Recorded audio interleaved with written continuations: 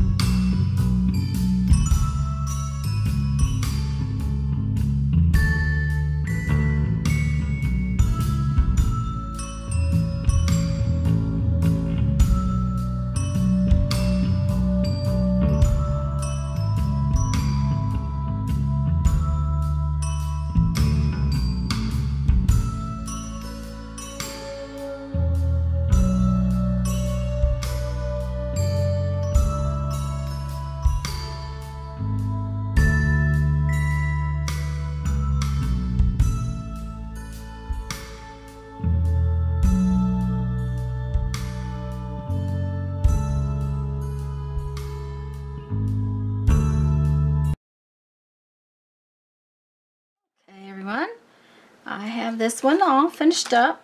The, like I said, the the the theme for this particular swap from Grumbacher, it's the Grumbacher number 64 swap.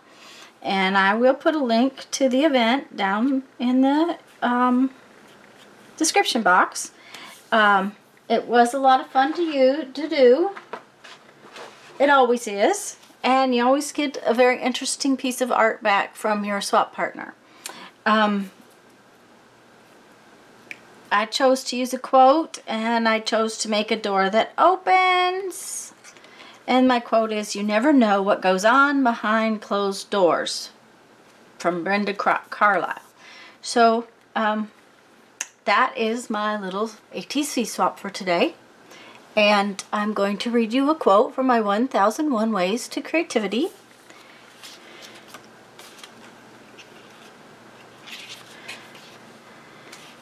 The triumphs and disasters of falling in and out of love are the ultimate source of creative material.